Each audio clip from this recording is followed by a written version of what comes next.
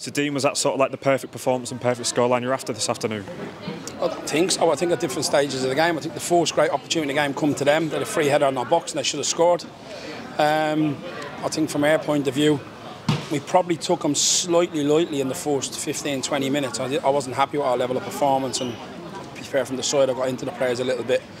And then we really started to dominate. They tried to jump us and press us um, especially our back line, and we didn't overload the midfield, and we just needed to make that count better, and we did. And then eventually, bit by bit, we got better. Uh, we played a couple of trigger balls off the front man. Um, it just was outstanding performance. But the main thing with these type of these competitions, the FA Cup especially, you need a bit of luck in it.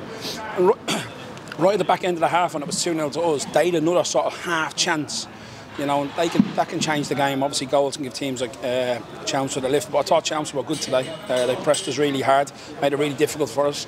Um, I thought it was a good performance with them, but I thought we were just obviously the better team. Yeah, and I guess it's one of those that if you're not on your A game, it's one of those fixtures that can really sort of trip you up. Yeah, 100%. It's the FA Cup. Everyone's here today. It's the BBC Radio and everybody we're here today. They're here for an upset. That's what they're looking to do. It's BBC Essex. Um, they won an upset, and uh, we had to make sure that we, we, that didn't happen to us. And I thought we carried out over the 90 minutes or the 99 minutes, whichever it was. Um, we carried out a nice professional performance. And how important is it in the FA Cup to maybe try and get a bit of a run going? Look, our priority is the league. I, I ain't gonna lie. Uh, our priority is the league campaign, and uh, nothing else really. And um, the FA Cup is a, is a, is a good um, sort of like it's a good bridesmaid for us. Um, that's probably the best way of putting it. Um, obviously, we'd like we'd like a home draw in the next round, and we know the excitement of it. It's more for the supporters and the finances of the football club, because uh, obviously you see here today, our stadium's not full. Um, we want to get our stadium full. If we fill our stadium, we can sign better players. We can bring more revenue to the football club.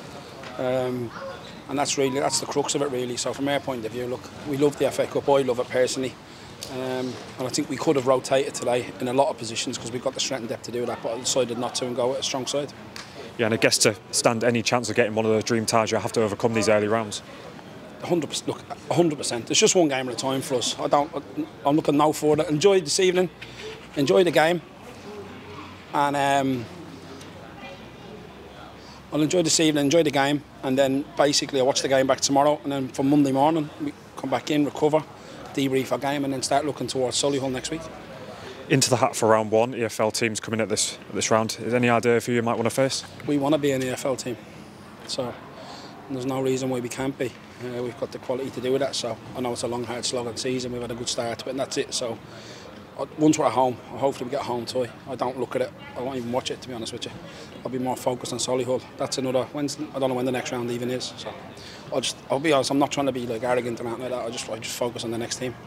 Yeah, absolutely. And, and Solihull are the opponents, like you just said, next Saturday. Thoughts going into that one? Yeah, I think they've got a replay Tuesday night now. Um, Solihull, uh, Altrincham, and this is the distraction the cup can bring. So this is a flip side But. They now have to play Tuesday night. Well, we'll have a full four sessions to prepare for their game. So listen, whether that gives us an advantage or not, I'm not sure. Solihull's a tough place to go. Every time I've been there, I've never had an easy game. Tough game again last year. They equalised against us late. Obviously, good to see Laurie again. Laurie was a stalwart, did a great job for us here. Laurie Walker good kid, and they've got some really good players, they're good manager, and they just lived out last year in the playoffs. So they're a good football club, they're well run. Uh, I know a lot of the guys there personally, from Wardy, who's like director of football and that, so we'll have a guard up. We know it's not going to be easy going there. Yeah, I think that's your lift actually as well, Dean. Thanks for your time. Cheers.